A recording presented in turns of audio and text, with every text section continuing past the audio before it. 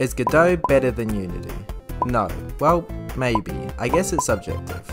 So I'm going to give you my thoughts so far on using Godot. Now a quick disclaimer, I've only been using the game engine for two weeks now, and what you're seeing is what I've made in those two weeks.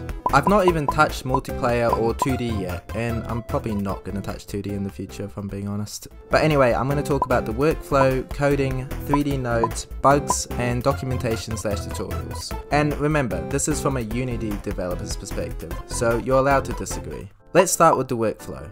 I'm going to disagree with the majority and say I don't think Godot is more beginner friendly than Unity, and I wouldn't say the workflow is just better than Unity's either. Let me explain. Let's use creating a cube for example. In Unity, it's just right click and create cube, and that's it, you're done. You can duplicate, move, and scale cubes however you want. In Godot, you have to first create a static body, then add a mesh instance and select cube, and then add a collider instance and select cube again. Now we can scale the cube however we want, right? Nope. You get this warning, which tells you to change the collider shape size and mesh scale individually, so the collision shape scale can stay uniformed. That's still not that bad, right? Well, hold on, for some reason collision shapes in the same scene share the same size values, so you can't just duplicate and scale them differently. So essentially you have to create a new scene for every different shape size you want. So the main pro with this workflow is that it forces you to work more modular, but I'd argue that it's almost too modular. And Unity already allows you to work more modular with prefabs, it just doesn't force you. So I'm used to creating a player and then stacking him with components and scripts. But in Godot, a node can only have one script attached to it. And I know it's just personal preference, but I'd rather have one node with all the player states attached than to have a node for each state. It makes the node tree messier and it also makes referencing the scripts a little harder. Now the last thing I'm going to complain about is that there's no live runtime scene in Godot which does make debugging harder, but it's not a deal breaker for me, and I did find that you can still edit variables live, which is good for tweaking stuff. Now I'm using Godot with .NET, and so far editing and saving scenes and scripts has been pretty much instant, which is actually amazing after coming from Unity that just sometimes had an infinite loading bug. I know I complained a bit about the workflow, but at the end of the day, most of it is just preference, and the size and speed of the engine in my opinion makes up for it. So I chose to use C Sharp in my Godot project, and yes, I know there's very few Godot C Sharp tutorials, and there supposedly is limitations with C Sharp, but regardless, C Sharp is home to me, and I don't want to say goodbye to my semicolons and curly braces that smile back at me.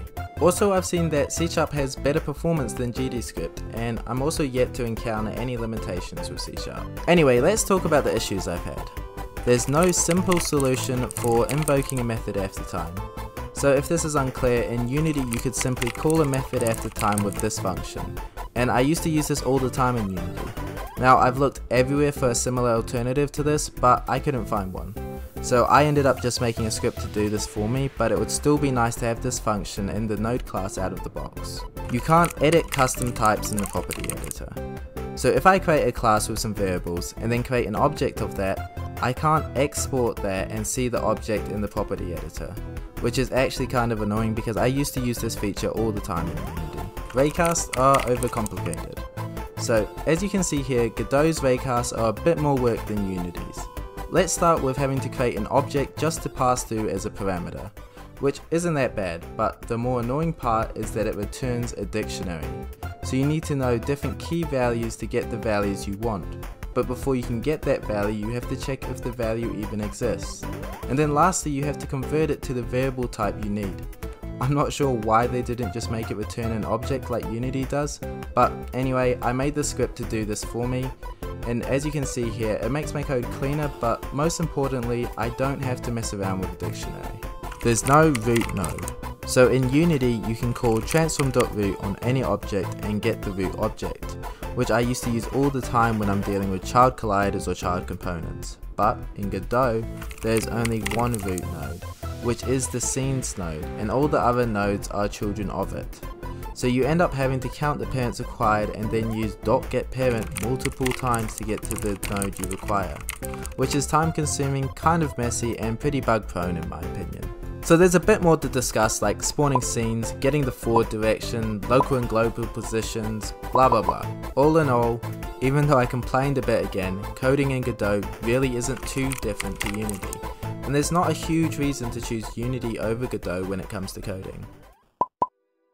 Let's start with the particle system, or GPU particles I should say.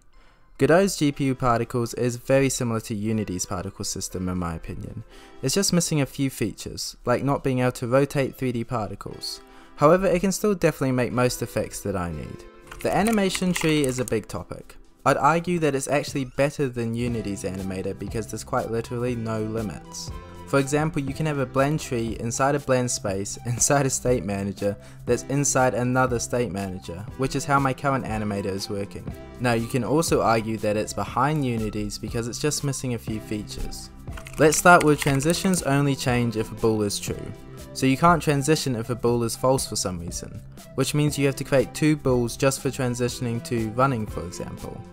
There's also no trigger parameter, so if I just want to transition to an attack animation and return when it's complete, I have to set a bool to true and then set it to false after the transition is complete.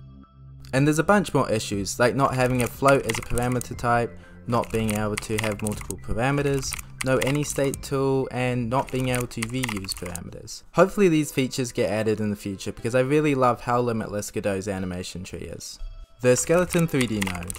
I'll be honest, at first I was annoyed I couldn't just parent objects to his hand by drag and dropping, but I soon realised that using the bone attachment node makes the node tree a lot cleaner, and it also makes it so much easier to reference bone attachments, so I think Godot might actually have the edge over Unity with this feature. The spring arm node is what I use for the camera controller in this project, and yeah, I love it.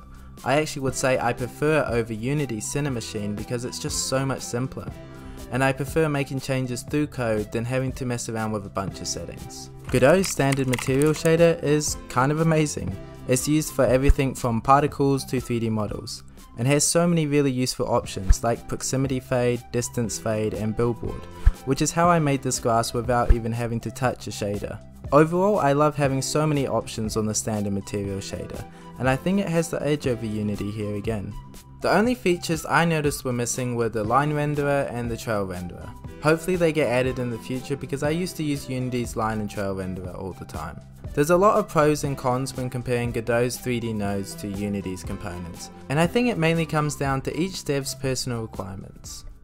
I've had a few minor bugs with Godot, such as not being able to see exported variables, material textures not updating, and probably the biggest one was moving scripts caused an error with scenes although I was able to quickly fix this by opening it in Notepad and updating the script file path. Every game engine has bugs, and Godot is no exception, but I'd say it's very comparable to Unity.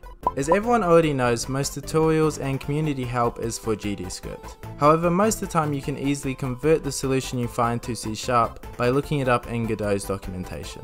I found that the best place to find a solution is just to go straight to the docs because most of the time even if I did find C Sharp community help, it was outdated.